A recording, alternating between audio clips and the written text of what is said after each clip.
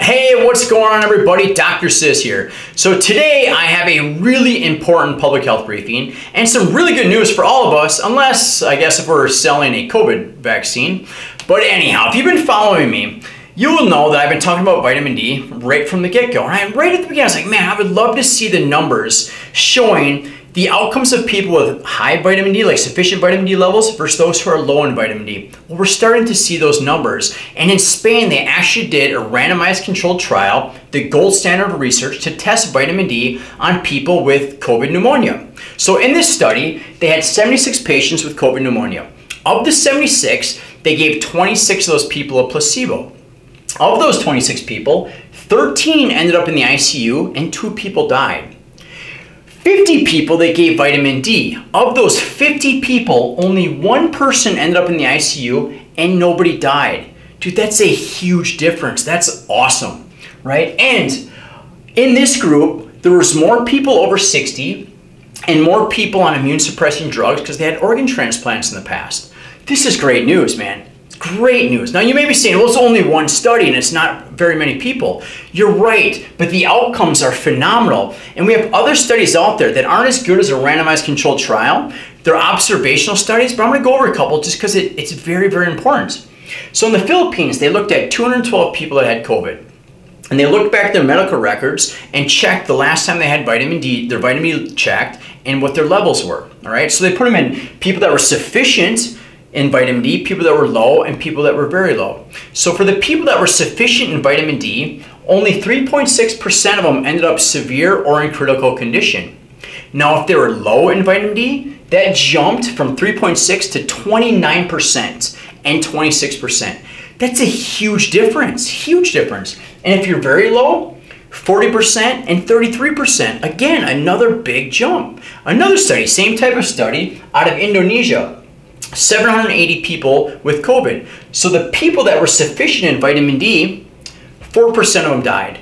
For the people that were low or very low, 88 to 99% of them passed away. Again, a huge difference, huge. Right now, the reason I brought up vitamin D months ago is because there's so much evidence in support of vitamin D and how your immune system works right? So this is the time of the year where normally you hear tons of advertising about your flu shot as your best defense against the flu. That's not true. If you really look into it, vitamin D outperforms the flu shot. Vitamin D is essential for a high function immune system.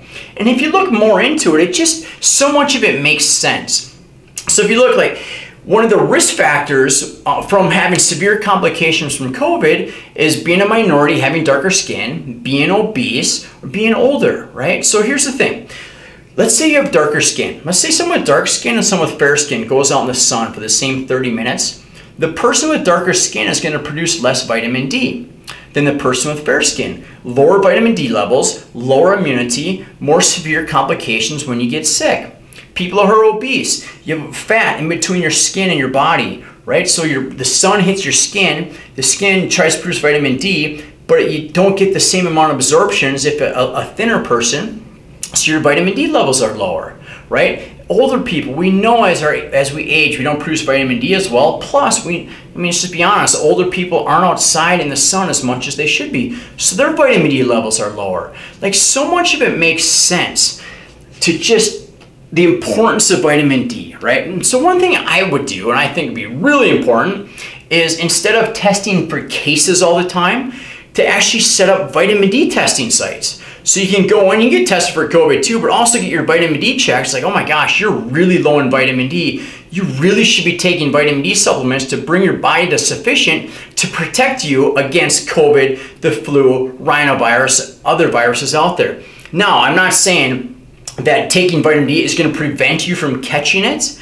But what it can do is boost your immune system, strengthen your immune system, so when you do get it, instead of having severe complications, your body's stronger and you're one of those people that they call an asymptomatic carrier, which really just means a healthy person. All right, so what do I recommend? It's not what I recommend. What do the experts recommend and what do I follow personally? Because I really think it's important to practice what you preach. Is I take 35 IUs of vitamin D3, very important, that's number three, per pound of body weight every single day. Which means if you're 100 pounds, you should take about 3,500 IUs per day. I'm 200 pounds, so I take about 7,000 IUs per day. Now I know the recommended daily allowance is lower, but those the, the, the RDA recommendations are bad for a couple of really important reasons. One, the RDA recommendations are based on the amount you need to prevent like getting osteomalacia or rickets. I don't want to take enough vitamin D just so I don't have osteomalacia. I want optimal. So these recommendations are based on being an optimal healthy person. Another thing doesn't make sense is the RDA, they don't factor in body size. Like, does it make any sense for a 220 pound muscular man to take as much vitamin D as a 120 pound fit woman? Well, of course not. So that's why we do it based on body size. And this is why, uh, one thing that doesn't make any sense to me is let's say you go to the hospital and you're low in vitamin D and they give you a 50,000 IU shot of vitamin D2, the synthetic version, once per week. Like, how does that make any sense at all? You know, ideally, we're outside in the sun on a regular basis getting vitamin D produced every single day. Wouldn't it make more sense to take the naturally occurring form of vitamin D every single day on a consistent basis? Well, yes. Things to look for when you get your vitamin D. Make sure your vitamin D is in a healthy fat. Vitamin D, make sure D3 is in a healthy fat. It's a fat soluble vitamin and the fat helps you absorb it better. There's no point in taking anything if it just passes through your body. And you gotta make sure it's a healthy fat. Too often, I see vitamin D in like canola oil or corn oil or safflower oil. It's like, why would you pay for a supplement that has oils that's bad for you? Make sure it's in a good oil. So exactly which vitamin D do I take? Um, this is mine. So it's kind of funny. Sometimes people are like, oh, you're just you're just saying this because you want to sell your stuff. It's actually the other way around. The reason vitamin D is one of the very few supplements I sell is because there's so damn much evidence showing how good it is for us, and there's so much evidence showing how so many people are deficient in it. Right? I mean, if it was all about selling money, I would sell protein shakes and pre-workout drinks, which is what everyone wants anyhow. I don't do any of that stuff. I just just a handful of things that have overwhelming evidence to show it's really good for you. All right, so mine is 5,000 IUs of vitamin D in flaxseed and olive oil. And here's what's really important about supplements, you guys, is it, the, the industry's not regulated at all, at all. So, I mean, literally, what is on the label doesn't have to be what's inside the bottle, and those people, you don't even get in trouble right? That's why I do it myself, start to finish. So I have the company make it, then I have it third party tested, so I know what's on the label is actually in the bottle. And I know it works is because I'll have people get tested, give them my vitamin D, they get tested again and their levels are three, four times higher, which is what you want. So this is mine for adults.